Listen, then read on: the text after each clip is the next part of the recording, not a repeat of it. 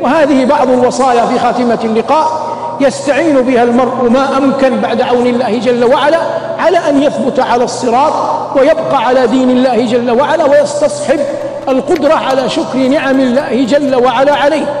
أعظمها وأجلها إقامة التوحيد في القلب قبل أن تقيمه في نفس غيرك. فلا إله إلا الله كلمة عظيمة جليلة القدر مبنى ومعنى. قال صلى الله عليه وسلم يخرج من النار. من قال لا إله إلا الله وكان في قلبه مثقال شعيرة من خير. وفي رواية للبخاري ومثقال شعيرة من إيمان. ثم قال يخرج من النار. من قال لا إله إلا الله ومن كان في قلبه مثقال ذرة من خير والبرة أصغر من الشعيرة.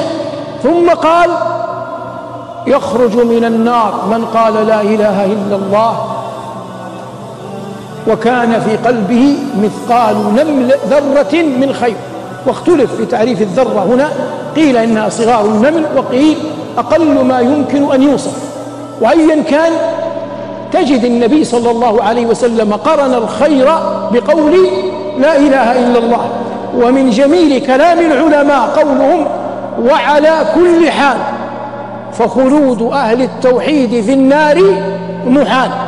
من جميل قول العلماء وعلى كل حال فخلود أهل التوحيد في النار محال.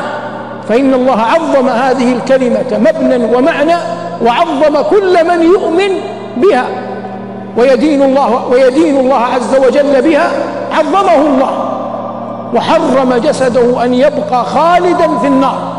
وجهنم عاذنا الله وإياكم على ضربين. ضرب من أهلها يدخلونها يصبحون حمما تحرق النار منهم. لكن هؤلاء الذين يصبحون حمما يخرجون. وأما من كتب الله له الخلود فيها عياذا بالله فلا يصبح حمما. بل قال الله لا يموت فيها ولا يحيا. وقال جل ذكره عنهم كلما نضجت جلودهم بدلناهم جلودا غيرها. فالوصية الأولى إقامة توحيد الله جل وعلا في القلب وأن تعظم كل من تعلم عنه أنه يعتقد بلا إله إلا الله. فيفر الإنسان من التكفير من رمي الناس بالفسق من رمي الناس بالتبديع. أجل هذه الكلمة في قلوبكم تجل في أعينكم من كان مؤمنا بها أيا كان حاله وإن كان إجلال دون دون إجلال.